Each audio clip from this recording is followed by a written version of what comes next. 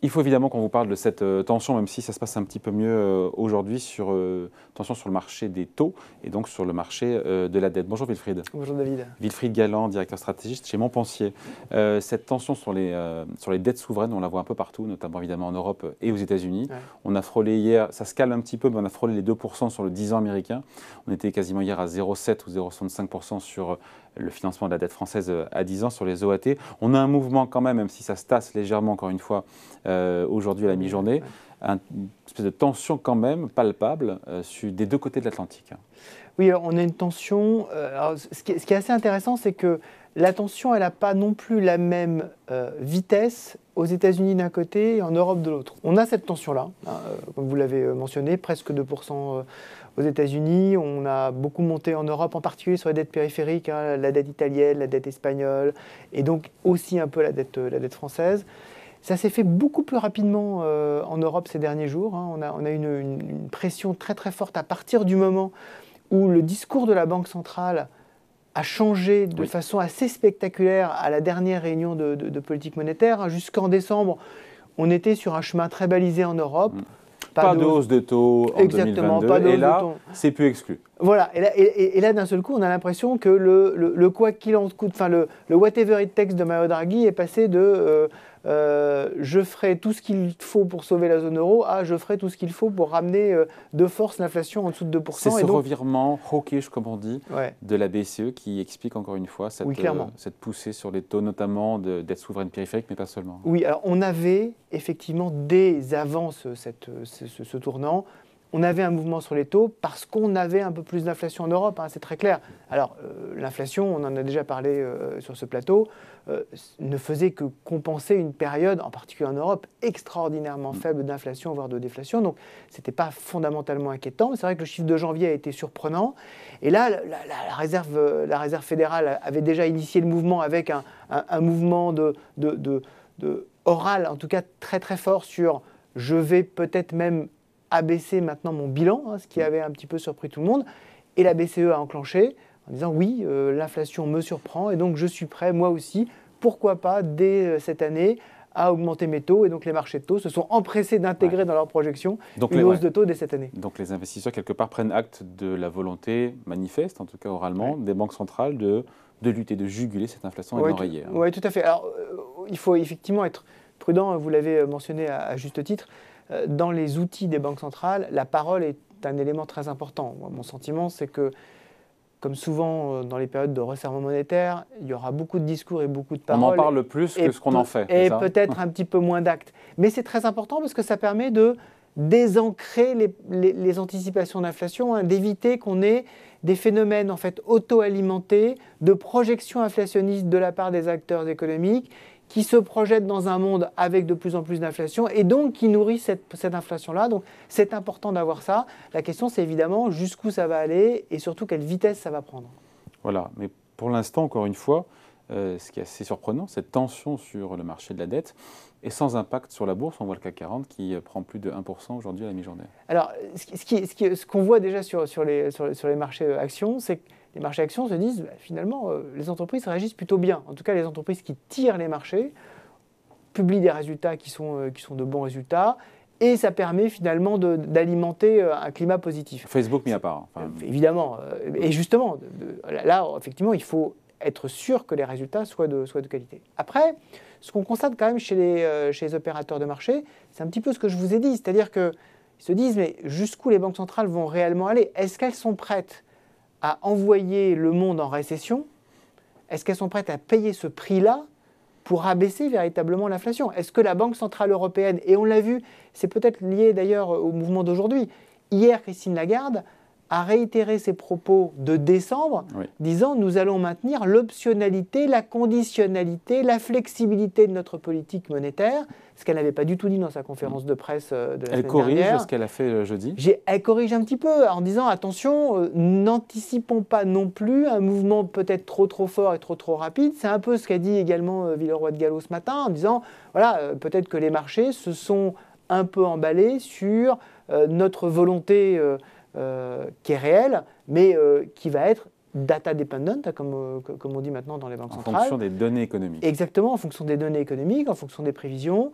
Il y a peut-être eu aussi une communication peut-être un petit peu moins maîtrisée hein, sur cette conférence de presse. Et donc on a l'impression que les marchés se disent, OK, attendons peut-être, pourquoi pas, un nouveau tournant hein, de, politique monétaire au fur et à mesure que les anticipations de croissance vont baisser. Et on voit aux États-Unis, on est déjà, quand, on regarde la Fed d'Atlanta qui publie un, indicateur en temps réel du PIB, l'indicateur de la Fed d'Atlanta, il est à 0,1% hein, sur, sur, ce, sur, ce, trimestre hein, de croissance, donc mm. il est très faible. Euh, il est certain que si les anticipations de croissance ne sont pas au rendez-vous, les banques centrales hésiteront quand même à mm. aller trop fortement, trop lourdement, en particulier dans le cadre d'une zone euro euh, qui reste très fragmentée. Oui, hein, si la euh. croissance ralentit mais que l'inflation est toujours là, je sais bien que l'un a une influence sur l'autre, hein, mais alors, ça les placera face à un sacré dilemme. Hein. Ça les placera face à un dilemme. Le dilemme, il sera très différent selon que vous êtes aux États-Unis, selon que vous êtes en Europe. Aux États-Unis, vous allez avoir assez rapidement, alors d'ici la fin de l'année, si les républicains gagnent les élections midterm, ce qui est quand même probable, vous allez avoir la possibilité de nouveau de débat autour de la dette, autour mm. du plafond de la dette, autour du financement de l'État.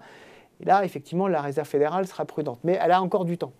Du côté de l'Europe, là, on voit aujourd'hui qu'on a quand même un spread italien, donc un écart entre le taux italien et le taux allemand commence à monter assez fortement. Hier, on était à 160, aujourd'hui, on est redescendu à 150 points de base. Euh, on sait que. On a connu pire dans l'histoire. On sait que quand on atteint entre 250 et 300 points de base, euh, on commence à être, euh, on commence à être très, très vigilant. On n'en est pas là. Ça, va, ça peut aller quand même relativement vite. Aujourd'hui, ce, que, regardent aussi les opérateurs, c'est que le taux moyen de financement de l'État italien, aujourd'hui, c'est 2,1% de, de, tout ce qu'il a émis. Le taux de la dette italienne, elle est à 1,8 malgré la remontée. Donc on reste encore avec des taux finalement relativement favorables. Si ça venait à basculer, on aurait de nouveau la question auprès de la Banque Centrale Européenne, mais est-ce que votre priorité, c'est de préserver l'intégrité de la zone euro, ou est-ce que votre priorité, c'est de respecter la lettre des traités? Le dilemme n'est pas facile, mais à un moment... Et donc l'inflation. Et, donc l'inflation. Le dilemme n'est pas facile, mais à un moment, l'écart entre les dettes et le risque de fragmentation prend toujours le pas.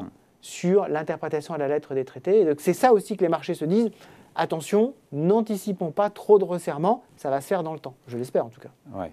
Et si jamais, encore une fois, euh, si d'aventure, cette tension sur les taux souverains en Europe, aux États-Unis, devait se poursuivre, on est sur un niveau charnière. Deux aux États-Unis, c'est un niveau qui est important, il est symbolique. c'est un niveau important, absolument. Et à partir de quel moment euh, ça va commencer à gêner les marchés actions? L'idée des marchés actions, c'est de, regarder deux choses. À la fois la vitesse avec laquelle ces mmh. changements s'opèrent, et d'autre part, il y a un ensemble euh, d'éléments qu'on appelle les conditions financières, hein, qui sont un, ensemble de paramètres liés justement au financement de l'économie. Ça peut être au volume de crédit, ça peut être les taux de change, ça peut être les taux euh, à court terme, à moyen terme, les anticipations de taux. tout ceci font des agrégats qu'on appelle les conditions financières. Est-ce qu'elles se resserrent rapidement ou est-ce qu'elles restent très favorables? Aujourd'hui, ce qu'on voit aux États-Unis, c'est qu'elles sont encore très favorables, mais qu'elles sont en train de se resserrer. En Europe, on est encore sur des conditions extrêmement favorables parce que la Banque Centrale Européenne, en fait, n'a pas arrêté ses, achats de, titres sur le marché. Pour l'instant, ce n'est pas le cas.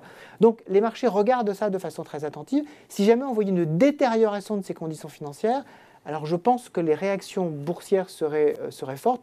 Elles le sont déjà quand on regarde l'intérieur. C'est-à-dire quand on regarde à l'intérieur des marchés, on a quand même des rotations sectorielles, on a à l'intérieur même des secteurs des, valeurs qui sont euh, totalement délaissées, des valeurs qui à l'inverse sont favorisées.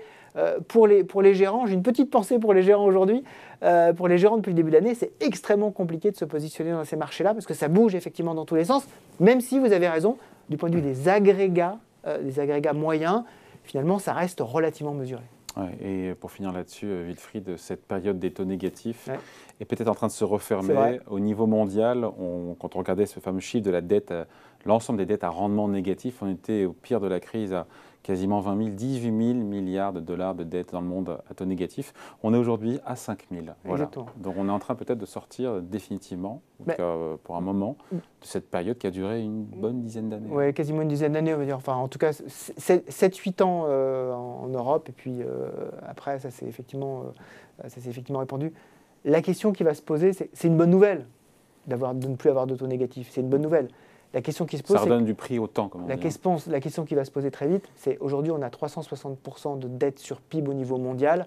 On a augmenté énormément ce qu'on appelle l'effet de levier parce qu'on a refusé la récession. On a refusé euh, la, récession liée à la pandémie au prix d'un endettement très très fort. Il va falloir vivre avec cet endettement. Ça a un prix. Ça a un prix sur le sur le coût du temps, ça a un prix sur le coût, sur le coût du risque. Ce qui fait que les banques centrales ne pourront pas aller trop loin en matière de hausse de taux. Ce qui fait qu'à un moment, ou en tout cas, que le, prix à payer sera de plus en plus important. Vous pouvez toujours le faire. Si, votre objectif à toute force est de faire baisser très très vite l'inflation, vous pouvez le faire en pressurant énormément la demande. Est-ce que c'est réellement ce qu'on veut, à la fois d'un point de vue économique et d'un point de vue social En cette période-là, le prix à payer serait quand même très très important. je dis attention, je pense que les banques centrales en sont conscientes. Il y a un discours très fort, peut-être justement, à mon avis, pour éviter d'agir trop trop fortement après. Donc voilà, c'est un jeu assez subtil qu'il faut gérer quand on est une banque centrale. On ne peut pas se permettre de laisser la monnaie se débaser, comme on dit, en fait perdre tout rapport avec les prix. Donc il faut être très attentif. Aujourd'hui, euh, de vous à moi, 3-4% d'inflation, euh, si ça, si ça venait à perdurer pendant quelques mois, ce n'est pas très grave. On sait que le risque, il est quand l'inflation atteint ou tangente les 10%. Donc c'est vrai qu'aux États-Unis, on est à 7, il faut faire attention. Euh, quand on est à 3-4% d'inflation, quand on vient de 0,05, on a encore un petit peu de marge quand même. Bon voilà, merci beaucoup. Explication Suni Wilfried Galland, directeur stratégiste chez Montpensier. Merci Wilfried. Merci infiniment.